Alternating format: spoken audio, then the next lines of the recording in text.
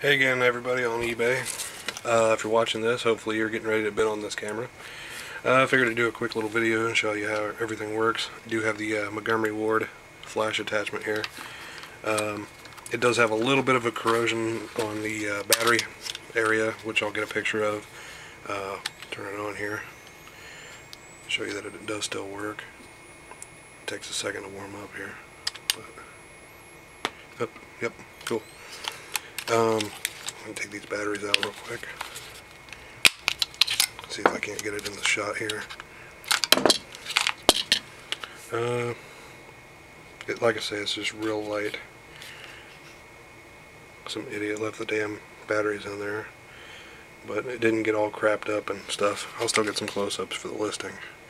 But this is the uh, Polaroid Pronto sonar and SX70 sonar cameras and that was only available through Montgomery Ward back in the day.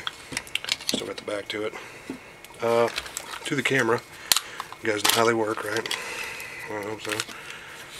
Anyways, this is the uh, SX70 land camera with the sonar.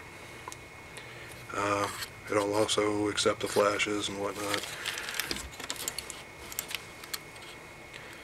There's the inside there.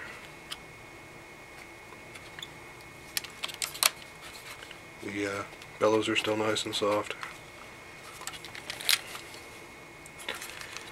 Bottom of it's not perfect. It does have some scratches. It does have the tripod mount, quarter 20 thread. And like I said, it's complete. Uh, worked uh, back in the 90s. I've used it I don't know how many times. Um, there's a company now making uh, film for them. I can't remember the name of it off top, but uh, they do have film for them on eBay now.